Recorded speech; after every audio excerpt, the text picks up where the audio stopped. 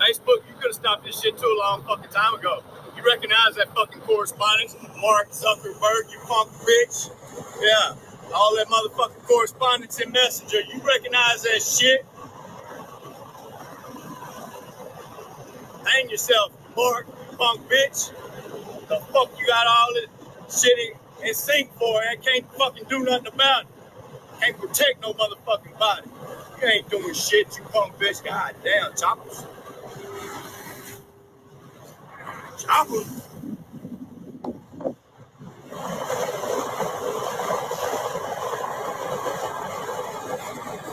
And look, well, how this is gonna end, but I guarantee it. We'll see if I, if I pull over with my hands high. See what happens there.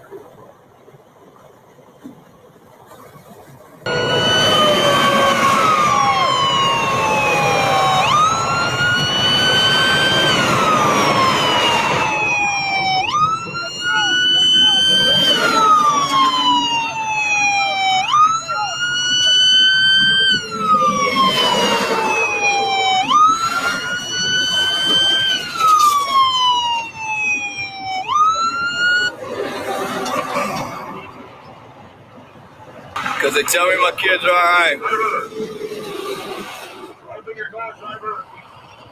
That means I got to drop my hands. Y'all understand that, right?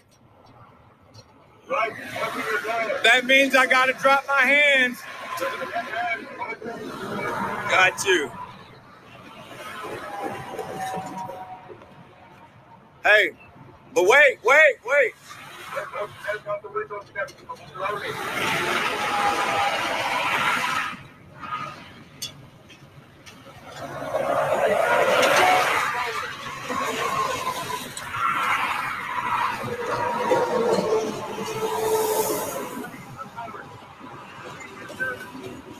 Got a gun. I shut them? These motherfuckers. Damn.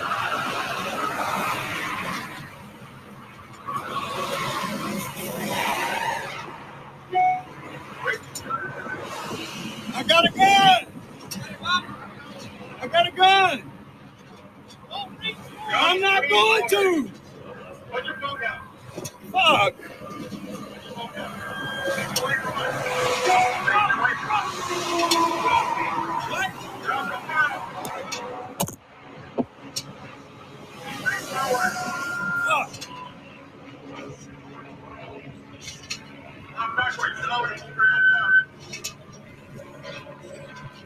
I'm ducking under. a Ford F-350 dually and somewhere in the Williamson County area, and they attempted to conduct a traffic stop on that vehicle. Uh, we jumped in into this whole incident with the vehicle evaded arrest from Georgetown Police Department, and we jumped in around the three uh, 270, which is in Durham. And then the suspect continued uh, northbound on 35 from the 270 until he was uh, apprehended at the 328 just south of Waco at 11:4 this morning. I guess he was acting alone, correct? What's that? He was acting alone. Yes, uh, single occupant, single vehicle, just one person evading, and we charged him with evading. So you said suspect. He was a suspect of what? What was he fleeing? What was he fleeing? Yeah. Uh, all that, the details into why he uh, chose not to stop, and all those will be released at a later time. They won't be released right now.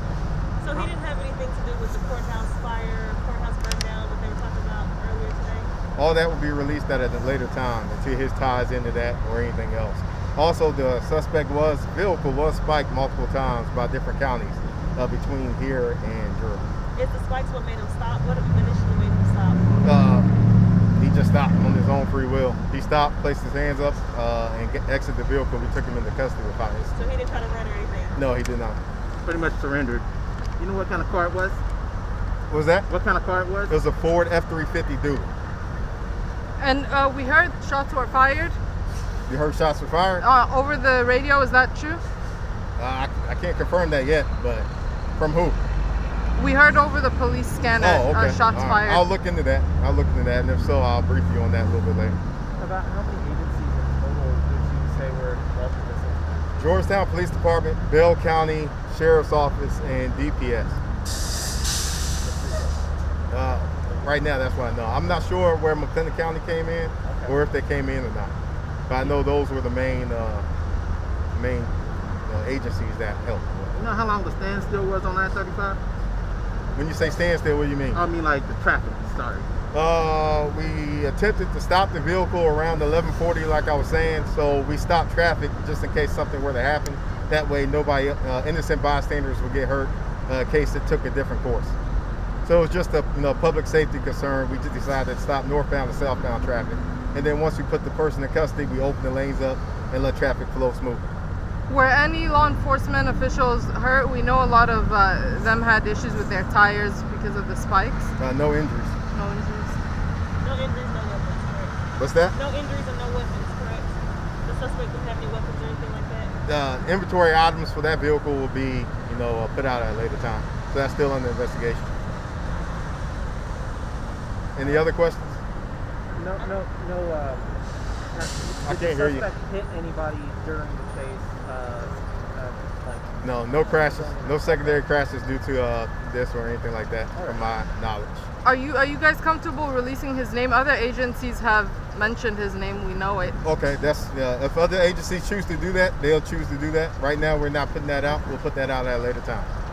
And for the record, uh, how you spell your first and last name? Ryan Howard, R Y A N H O W A R D.